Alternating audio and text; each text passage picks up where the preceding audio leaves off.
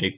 So now that we're done with that, we're going to go ahead and start coding. So to begin, we're going to go ahead and click on the yellow events tab, add when green flag is clicked, and we're going to go to the variable tab and check to see if we're able to play our game. So we're going to set game over to one.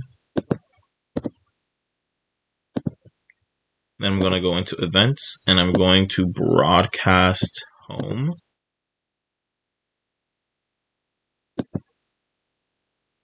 And the last thing I'm going to do is inside of looks, I'm going to add a show.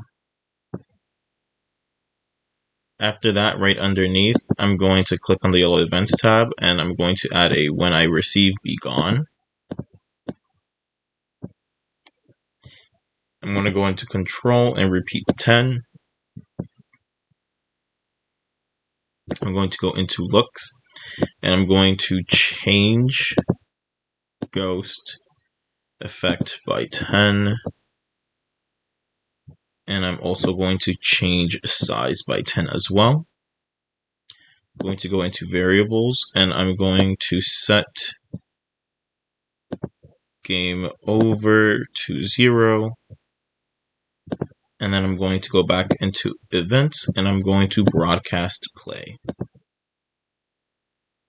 After that, I'm going to add a when I receive game over and I'm going to broadcast home. So the last thing that we need to do is going to be a quick little animation for our actual title screen that we have. Uh, so we're going to do this really quickly. Uh, but before we do that, uh, as you can see when I click on my green flag, I can see my different buttons. If you, for whatever reason, can't see your actual play button, that's only because when you leave the costume area, just make sure you have your play button already selected. When you click on code, just to make sure that that option shows up. When For those of you who are the twice a week students, when you click on the I, you can already see uh, your how to play uh, info section. Uh, if you need it to be smaller, like I said, you can play around with the set size.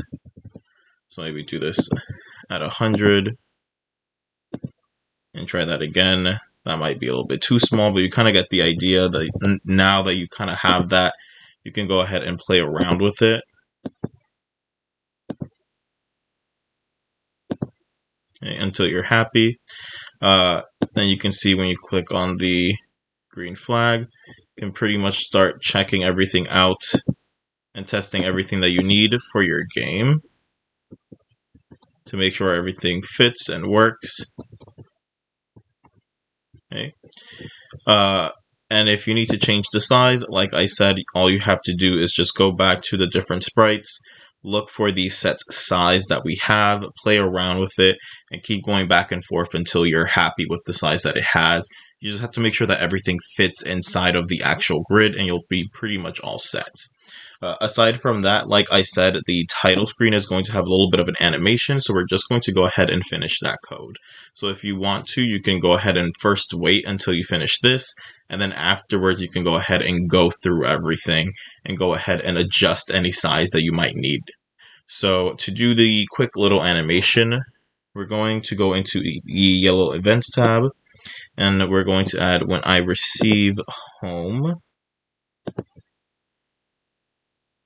After that, we're going to go into looks. We're going to clear graphic effects. And then we're going to show. We're going to go into variables and we're going to set our, our turn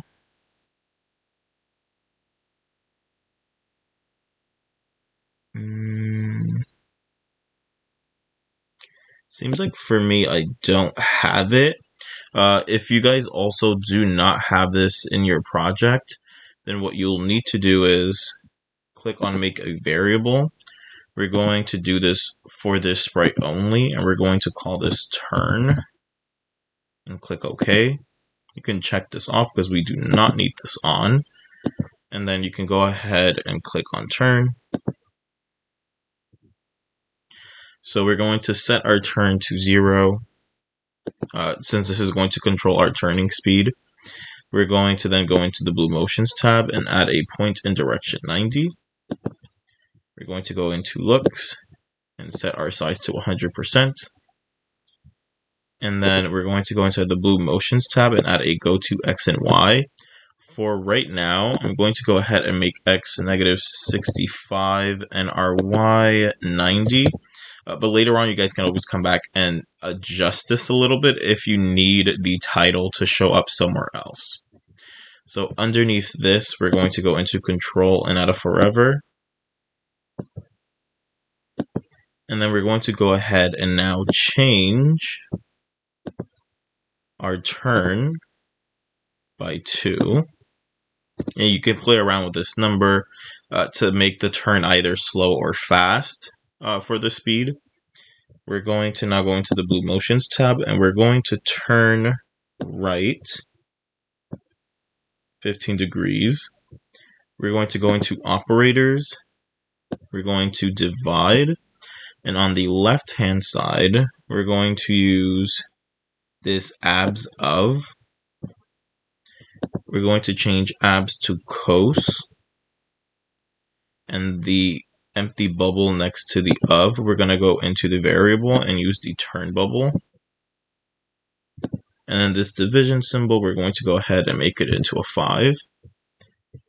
Then we're going to go inside of our blue motions tab and we're going to add a change y by. We're going to go ahead and use the subtraction symbol. So we're going to go into operators, use the subtraction symbol, on the right hand side, we're going to use abs of again.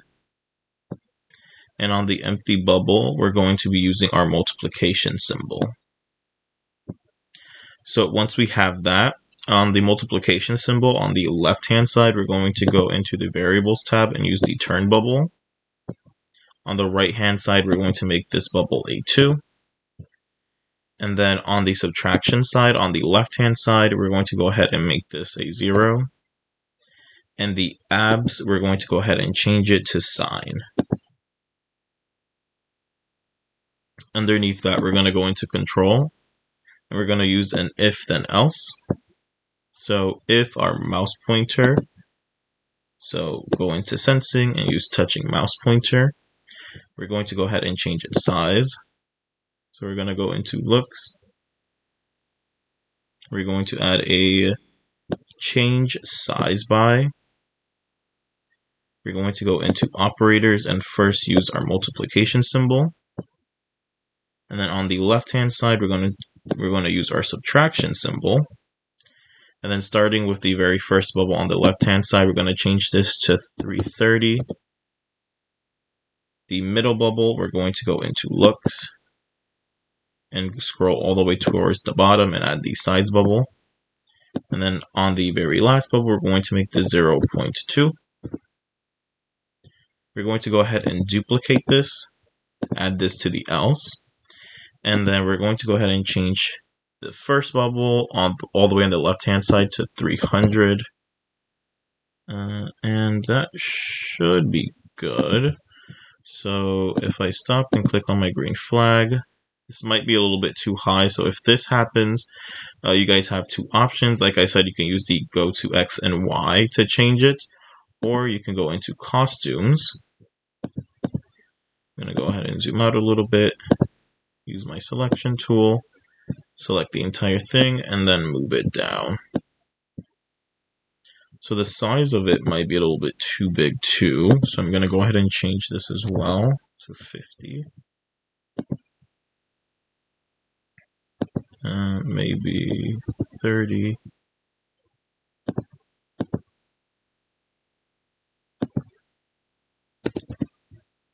Try. Okay. I change the size to 10.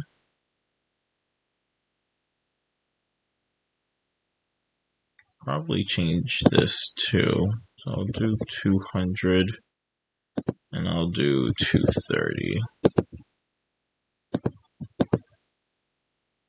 That makes it a little bit better. So I'll probably change this maybe to 130 and then this one to 100. There we go. So that looks much better. Okay. And like I said, you can always go back into costumes, select everything, and then move it over uh, to wherever you want the actual title to be. So probably around here I'll be happy with. Uh, and then once you're done, like I said, go ahead and test out your full game. Make sure that everything is working. Make sure that all your sizes are the same. Make sure that all your costumes are correct. Uh, and then once you're done, we're going to go ahead and do the last step for our week three core, which is going to be focusing on our score.